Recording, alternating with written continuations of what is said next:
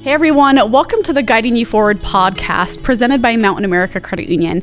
Today we're talking about balance transfers. And thankfully we have Matt Farrow with us. Hi Matt. Hi, how are you? Doing so good. Good. And let's let everyone in on Matt, why you can talk to us about this. It's because he's the Assistant Vice President of Payment and Deposit Products at Mountain America. Correct.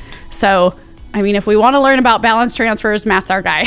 So thank you so much for joining us, Matt. Thank you. Happy to be here. Awesome. So, what exactly is a balance transfer? So, a balance transfer, it's kind of uh, self explanatory a little bit. It's where you take a ba- an existing balance from one credit card and you move that over to another credit card with a different financial institution. And usually it's for people that are carrying a balance. okay. Okay. So, what are some of the benefits of doing this? Um, commonly, people do a balance transfer really when it comes down to rate, right? So you're Okay. in an existing card that maybe carries a higher um, a higher interest rate than than another card. Um, so people will do some interest rate shopping and move an existing balance that's in a higher rate into a lower rate card in an effort to try to pay down debt faster.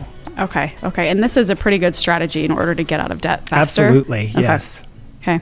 So, when we're rate shopping Yep. at some of these different financial institutions, what do we need to be looking for? So, financial institutions back in 2010, the, the Credit Card Act was passed, and it required card issuers to be much more transparent and consistent in the way they display rates and fees. Um, so, every card issuer will have a disclosure. It's, it's formatted very similarly in a box so you can see very clearly what the rate is, if there's annual fees, what the late fees are, if there's a penalty for paying late. Um, those are all displayed very similarly across uh, credit card issuers. Okay. So it's important that people collect those and do some rate comparisons and, and pricing comparisons on fees and things like that. Okay. Because one thing I remember my husband and I were looking into doing a balance transfer. Mm-hmm. Um, it was after we were first married, you know, bless our hearts, when we were single. Yep. You know, um, we maybe didn't care as much about budgeting as we should have. Yeah. Um, love you, babe. Sorry, I'm giving away all our secrets.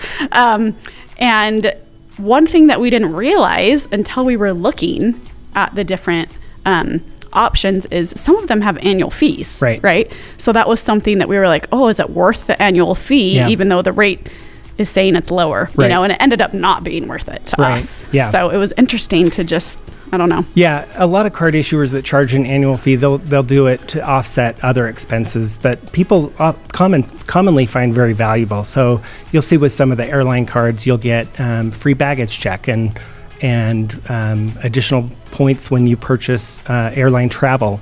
So some of those things um, may pay for that annual fee, but it really just comes down to a kind of a balancing act of is is that really worth the annual fee that you're paying, and are you getting the benefit of the card that to offset that cost? Okay. So really, I need to look at what I'm getting and how it's going to benefit me. Absolutely. What other things do I need to watch out for as I'm doing these comparisons across financial institutions? Sure. Um, I think introductory rate is a big lure. Um, we get these emails or uh, direct mail pieces that say 0% for six to 12 months.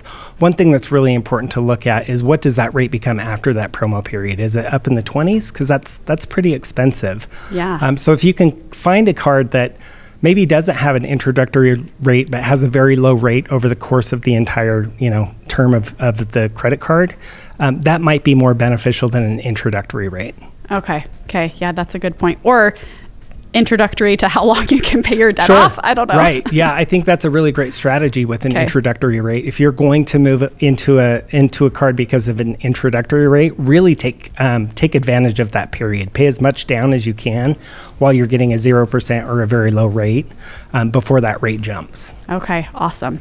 Um, so, how do fees come into play Sure. with all of this? Are there are there fees associated with doing a balance transfer? There can be. Um, Okay. A lot of issuers will um, actually give you a, a rebate when you do a balance transfer. So you'll see, like like I said, introductory rates.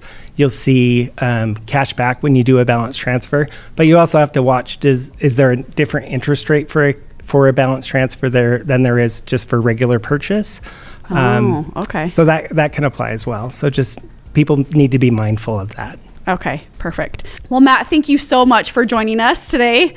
Thank you. It's been a pleasure. Yeah, and you guys, we have learned all we need to know about balance transfers. But if there's something else you do want to know, you can head on over to macu.com and we will provide a direct link so you can learn all the things about balance transfers as well. And thank you so much for joining us again, and we will see you all on the next episode of Guiding You Forward.